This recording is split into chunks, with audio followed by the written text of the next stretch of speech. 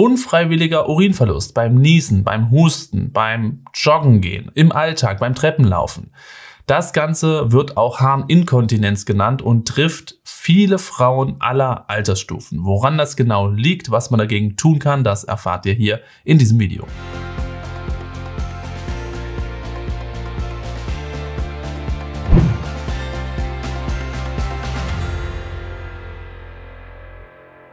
Mein Name ist Dr. Med Konstantin Wagner, ich bin Frauenarzt und mit diesem Kanal möchte ich die Frauengesundheit wieder ein bisschen mehr in den Fokus rücken, wurde letzten Jahrzehnten vergessen und einfach ignoriert und deswegen sind viele Themen tabuisiert. Ihr helft das zu enttabuisieren und helft mir, euch zu helfen, indem ihr ein Abo dalasst, das ist ein Klick für euch oder natürlich kommentiert, liked und die Videos teilt. Da du dieses Video schaust, wird es dir wahrscheinlich so gehen oder du kennst vielleicht jemanden, dem es so geht.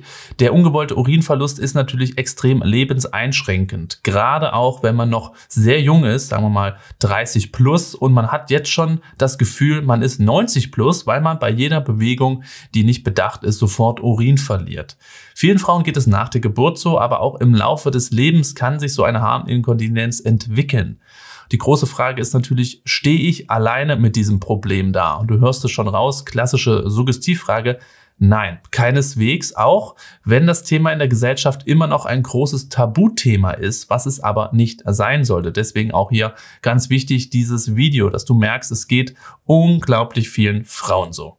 Die International Continence Society, die definiert die Harninkontinenz als jeglichen ungewollten Urinverlust. Es gibt aber ein paar Differenzierungen bei der Harninkontinenz. Es gibt die sogenannte Belastungsinkontinenz, früher auch Stressinkontinenz genannt. Und sie ist mit ca. 50 Prozent der Harninkontinenzen auch die häufigste Form. Und hierunter versteht man einen ungewollten Urinverlust bei Belastung. Darunter zählen zum Beispiel Sport, Joggen etc., aber auch Treppenlaufen, Niesen, Husten oder auch wenn man etwas anhebt. Also körperliche Belastungen, die dann in der Konsequenz zu einem Urinverlust führen. Das nennt man Belastungsinkontinenz. Davon abzugrenzen ist die sogenannte Dranginkontinenz. Urgency-Inkontinenz wird sie auch genannt. Sie macht ungefähr 15 Prozent aus und hierunter versteht man einen unglaublichen Harndrang, der sich ganz plötzlich entwickelt und der dann in der Konsequenz auch zum Urinabgang führt. Du hast also das Gefühl, du musst unglaublich dringend jetzt sofort und dann ist es schon zu spät. Wir kennen das auch alle aus dem Alltag. Wenn wir mal wirklich dringend müssen, und sind kurz vor der Toilette, dass dann das Gefühl, ich explodiere gleich, immer größer wird und dass es dann zum Schluss wirklich ganz knapp ist. Obwohl wir vielleicht zehn Minuten vorher durch die Stadt gelaufen sind und nicht das große Problem hatten, das gut einhalten konnten. So kann man sich eben diese Drangkomponente vorstellen. Und in 30 Prozent der Fällen dieser Harninkontinenzen liegt eine Mischharninkontinenz vor. Das ist quasi, wie der Name schon sagt, eine Mischung zwischen der Belastungs- und der Dranginkontinenz. So, dann kommen wir mal zu den Häufigkeiten und woran das Ganze auch liegen kann. Ich habe es eben schon erwähnt, du bist bestimmt nicht die Einzige. Ganz im Gegenteil, die Prävalenz sagt, dass bis zu 60 Prozent, wahrscheinlich sogar die Dunkelziffer noch ein Stückchen höher, also zwei Drittel der Frauen jeglichen Altersstufen ist betroffen von einer Harninkontinenz, also ein Krankheitsbild, was unglaublich häufig vorkommt. Und ja, man kann auch in jedem Lebensalter betroffen sein. Junge Frauen sind nicht gefeit vor einer Harninkontinenz, auch wenn die Harninkontinenzraten natürlich zum Alter hin zunehmen.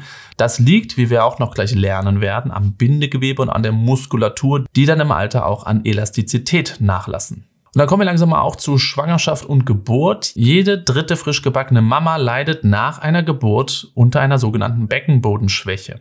Und jede fünfte Frau leidet sogar unter einer Harninkontinenz. Muss man sich mal vorstellen. Und selbst in der Schwangerschaft kann die Harninkontinenz ja auch schon vorkommen, wie viele Schwangere wahrscheinlich auch schon erlebt haben. Die Prävalenz steigt hier auch vom Schwangerschaftsalter. Während es im ersten Trimester noch so roundabout 10% sind, die harninkontinent werden, sind es kurz vorm ET fast 40% der Frauen. Und die blöde Nachricht ist, wenn du während der Schwangerschaft schon inkontinent warst, ist das Risiko nach der Geburt dreifach erhöht, dass du es eben auch bleibst oder die Harninkontinenz dann langfristig entwickelst. Und natürlich ist auch diese Inkontinenz abhängig davon, wie du dein Kind bekommen hast, auf welchem Wege. Bei der vaginalen Geburt liegt die Rate an Inkontinenz circa bei 25 Prozent und bei einer Sektio, dem sogenannten Kaiserschnitt, liegt die Rate bei 10,8 Prozent. Woran liegt das jetzt? Vor allen Dingen werden sich ja viele fragen, okay, Sektio, der Kaiserschnitt, da dachte ich ja, der Beckenboden wird komplett geschont, da werde ich ja nicht inkontinent und sind dann überrascht, dass man das doch hört, dass auch die Sektio natürlich die Harninkontinenzrate nach oben treibt. Liegt daran, dass die Schwangerschaft per se natürlich schon ein riesen Impact für so einen Beckenboden ist und auch hier schon Dehnung und auch kleine Mikrotraumen passieren können, gerade auch wenn vielleicht im Vorfeld auch schon Wehen waren. Kommt also auch ein bisschen darauf an, was für eine Sektio war es. Eine geplante primäre Sektio Sektio oder eben eine Sektio, die im Verlauf des Geburtsvorgangs stattfinden musste und der Muttermund war schon gedehnt, die Wehen waren schon da. Das macht natürlich auch viel mehr Impact auf den Beckenboden. Und wie ich es in meinem Geburtsvorbereitungskurs erzähle oder auch hier auf YouTube schon oft erzählt habe, der Beckenboden ist einfach sehr komplex. Er besteht nicht nur aus Muskulatur, sondern eben auch aus Bindegewebe und auch Nervenfasern und alles kann eben auch in Mitleidenschaft geraten. Deswegen kann man sich auch vorstellen, dass die Rate bei der vaginalen Geburt natürlich höher ist, weil die Dehnung einfach viel massiver ist. Und nicht nur die Muskulatur wird gedehnt und führt vielleicht auch zu kleinen Muskelfaserrissen, was die Muskulatur im Beckenboden natürlich schwächt, sondern auch das Bindegewebe wird gedehnt und kann auch verletzt werden. Das Blöde am Bindegewebe ist wieder, das kann man nicht so gut trainieren wie zum Beispiel die Beckenbodenmuskulatur. Da es sich aber bei diesen Verletzungen ja oft um Mischbilder handelt, nicht nur der Muskel ist verletzt und nicht nur das Bindegewebe ist verletzt, macht es natürlich durchaus Sinn, therapeutisch auch alles abzudecken, kommen wir aber gleich noch zu. Vor allen Dingen geht man heutzutage davon aus, dass der Blasenhals, also der Abgang aus der Harnblase, wo ja der Beckenboden großen Einfluss drauf hat durch eine Schließfunktion, eine sogenannte Hypermobilität erhält. Es wird also viel beweglicher und dadurch ist natürlich diese Verschlussfunktion nicht mehr gewährleistet. Und was neueste Studien auch zeigen, was man früher komplett anders formuliert hat, ist, dass eben die Rückbildung dieser Muskulatur und das Aufarbeiten dieser Verletzungen viel länger zu dauern scheint als vorher angenommen. Wo wir wissen, die Gebärmutter, die ist von einem Kilogramm innerhalb von sechs Wochen wieder auf 50 Gramm zusammengeschrumpft und auch Geburtsverletzungen sind innerhalb von vier bis sechs Wochen komplett abgeheilt. So gilt das eben nicht für die Verletzungen im Beckenboden, was das muskuläre und auch das Bindegewebe angeht. Frauen haben also viel länger als dieses Wochenbett Probleme mit der Regeneration des Beckenbodens. Wichtiger Punkt. Und wenn wir über Bindegewebe und Muskulatur sprechen, müssen wir auch über Nerven sprechen. Der sogenannte Nervus pudendus, der extrem wichtig ist für genau diesen Bereich, der kann eben auch verletzt werden. Und sollte das passieren, ist die Regeneration auch verzögert, denn Nerven brauchen sehr lange, um zu regenerieren. Jetzt habe ich euch unglaublich viel Sorgen bereitet und ihr findet euch vielleicht auch wieder in dem Erzählten, fragt euch jetzt, okay, alles klar, aber was soll ich tun, was kann ich jetzt tun?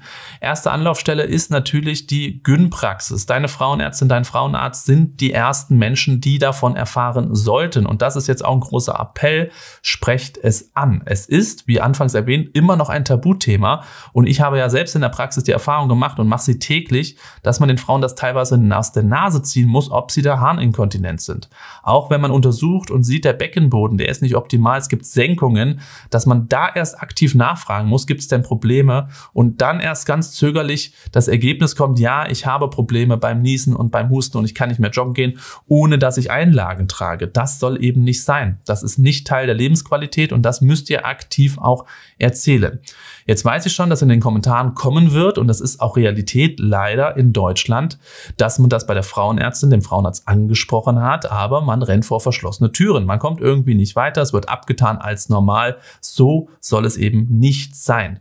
Und wenn das so ist oder die Frauenärztin, der Frauenarzt sagt, hier ist mein Kompetenzbereich auch einfach am Ende, was ja völlig legitim ist, dann sind sogenannte Beckenbodenzentren enorm wichtig. Diese Zentren sind genau darauf spezialisiert, eine Beckenbodendiagnostik zu machen und eben auch entsprechend therapeutisch dann Pläne zu schmieden. Also, die Überweisung zu einem Beckenbodenzentrum solltest du eben nicht weiterkommen bei deiner Gyn. Das wäre dann auf jeden Fall der nächste Schritt nach dem Gespräch mit der Frauenärztin. Grundsätzlich gilt bei der Therapie, alle Beckenbodenprobleme sollten zunächst konservativ therapiert werden. Also man schlägt dann nicht gleich mit irgendwelchen OPs um oder mit Medikamenten, sondern man guckt sich natürlich erstmal an, wo liegt das Problem. Hier gibt es viele allgemeine Maßnahmen und etwas speziellere Maßnahmen. Zu den allgemeinen Maßnahmen, da kommen die Klassiker hinzu. Natürlich sollte man bei Übergewicht das Gewicht reduzieren, denn Übergewicht ist ein Impact auf den Beckenboden und wenn man hier Gewicht vom Beckenboden wegnimmt, kann der sich natürlich besser regenerieren und er kommt natürlich so in die physiologische Lage rein, wo er einfach besser funktionieren kann, auch die Muskulatur. Selbes Prinzip haben wir gleich nochmal bei den sogenannten Pessaren. Schwere körperliche Aktivität, schwere körperliche Arbeit, auch das Heben von schweren Dingen. Ich weiß, wenn man mehrfach Mama ist, ist natürlich schwierig, wenn das fünfjährige Kind auf einen zugerannt kommt und man darf es nicht hochheben oder sollte es nicht hochheben. Vermeiden lässt sich das nicht immer, aber man kann eben auch eine Schonhaltung einnehmen, beziehungsweise auch dem Kind vielleicht erklären, dass jetzt gerade es nicht angebracht ist, später vielleicht auf der Couch gekuschelt werden kann, dass man einfach versucht, sich im Alltag ein bisschen diesen Impact auf den Beckenboden wegzunehmen. Und dazu gehört eben auch, dass man die Blase nicht komplett zum Überlaufen bringen sollte. Also regelmäßiges Wasser lassen. Ihr könnt auch gerne euch einen Timer stellen. Machen ganz viele bei der Dranginkontinenz, dass man wirklich nach Zeit aufs Klo geht, auch wenn man nicht das Gefühl hat, man müsse, um einfach die Blase immer und stetig leer zu halten und auch eben zu trainieren, bevor die Blase wieder eine Dehnung erfährt, wieder Mikrotraumen entstehen und der Impact auf dem Beckenboden sehr groß ist. Gesunde Ernährung, Verzicht Nikotin, Verzicht Koffein, kennen wir alles, habe ich hier hoch und runter schon dekliniert. Natürlich sind das alles schwere Lebensumstellungen, aber wenn man hier und da ein kleines Stellschräublein drehen kann, hat man schon sehr viel für den Beckenboden gemacht. Und dann kommen wir jetzt zu den etwas spezielleren Therapieformen, die so anstehen könnten. Hier ist ein großer Block. Natürlich, auch da habe ich schon viel drüber erzählt, sind die sogenannten Rückbildungskurse beziehungsweise wirklich das Beckenbodentraining, auch wenn ich das Wort manchmal gar nicht so gerne habe, weil es jetzt nicht wie im Fitnessstudio ist, dass man da den Beckenboden komplett durchtrainieren muss. Da geht es auch ganz viel um, wie gehe ich richtig im Alltag mit meinem Beckenboden um. Und hier muss man einfach sagen, hier gibt es ausgebildete Physiotherapeuten und Physiotherapeutinnen, sogenannte Physiopelviker-Therapeuten und die sind spezialisiert auf den Beckenboden. Es es gibt eine offizielle Liste, die habe ich euch auch schon 10.000 Mal verlinkt. Ich tue es hier auch wieder, wo man gucken kann, ob in der Nähe, wo man wohnt, eben sogenannte Physiopelvikas unterwegs sind. Und das kann ich einfach nur empfehlen. Gibt es bei der Gyn auf Rezept und dann kann man da bei der Harninkontinenz auf jeden Fall schon mal einen guten Impact schaffen, dass man da den Beckenboden einmal analysiert und eben auch entsprechend therapiert. Aber ich habe auch schon gesagt, die Muskulatur ist ja nicht nur betroffen. Also wir können noch so viel Muskulatur trainieren und aufarbeiten, wenn das Bindegewebe natürlich auch ein bisschen an Elastizität verloren hat. Wir haben die Hypermobilität des Blasenhalses auch angesprochen.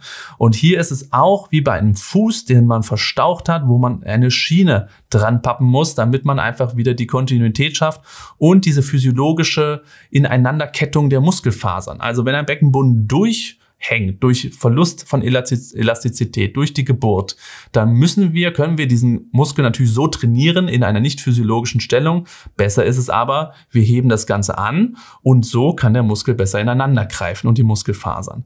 Und das Ganze passiert durch sogenannte Pessare. Pessare sind so medizinische Hilfsmittel aus Silikon, kann man sich vaginal einführen und stabilisieren den Beckenboden vaginal. Das heißt, man macht eine kleine Stütze rein und das Ganze kann man eben selbst einsetzen. Manche tragen es am Tag, nehmen es abends zum Schlafen wieder raus. Andere sagen, ich brauche es eigentlich nur beim Joggen oder beim anderen Sport, dass sie das nur während großer Belastung eben tragen und das eben auch bei Bedarf. Shoppingtour durch die Stadt, dauert sechs, sieben Stunden. Ich weiß, mein Beckenboden, der gibt irgendwann nach zwei Stunden den Geist auf, also mache ich mir ein Pessar vor dieser Shoppingtour rein.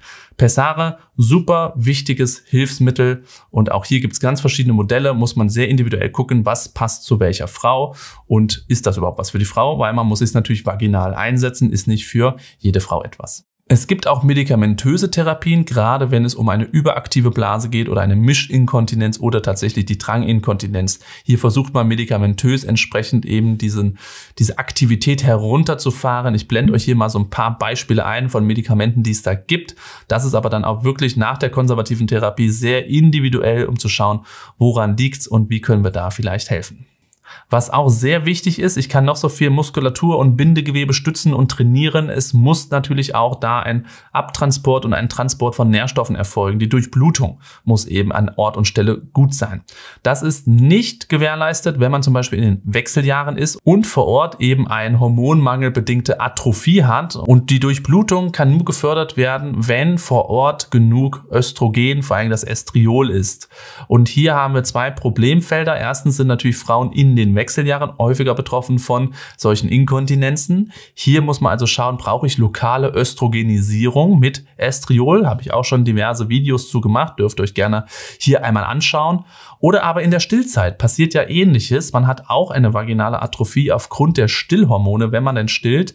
Und auch hier muss man sehr individuell gucken, brauche ich da vielleicht sogar Estriol als lokale Östrogenisierung, um eben hier auch die Durchblutung zu fördern und die Regeneration eben auch ein bisschen zu pushen. Dann gibt es natürlich auch noch operative Varianten. Das würde ich jetzt den Rahmen sprengen, nur mal so ganz kurz gesagt. Natürlich macht man das nicht sechs Wochen nach der Geburt, sondern müssen schon zwölf Monate abgeschlossen sein. Im besten Falle sollte auch die Familienplanung abgeschlossen sein. In Ausnahmefällen und sehr individuell gibt es auch OPs quasi, obwohl noch Kinderwunsch besteht. Das ist aber, wie gesagt, sehr spezielles Thema. Und da gibt es verschiedene Varianten, ob es ein Bändchen unter die Harnröhre ist, ob es ein Netz ist, was früher sehr oft gemacht würde, ob vielleicht auch eine Senkung da ist. Und da muss man die ganze Gebärmutter eben anheben durch einen Bandapparat, äh, ob es eine Gebärmutterentfernung ist. Da gibt es also wirklich zig Varianten. Da müsst ihr euch im Beckenbodenzentrum natürlich sehr individuell beraten lassen lassen, nur dass ihr mal gehört habt. Es gibt natürlich auch operative Verfahren, die sind quasi aber die letzte Stufe der Therapiekaskade. Wenn du vorhin aufgehorcht hast, was genau passiert denn bei der Geburt mit meinem Beckenboden, wie wird er denn genau da zerstört, dann darfst du dir gerne das Video einmal anschauen oder wenn dich interessiert Genitalsenkung, Senkung von Blase, Darm oder auch Gebärmutter, darfst du dir gerne das Video einmal anschauen. Das sind sicherlich auch nochmal interessante Videos, wenn es um diese ganze Thematik geht. Sonst würde ich mich natürlich sehr über deinen Kommentar freuen. Erzähl mal, hast du Probleme im Beckenboden? Wie war die Anlaufstelle in der Frauenarztpraxis? Bist du da weitergekommen oder nicht? Und was hast du letztendlich getan, was dir geholfen hat?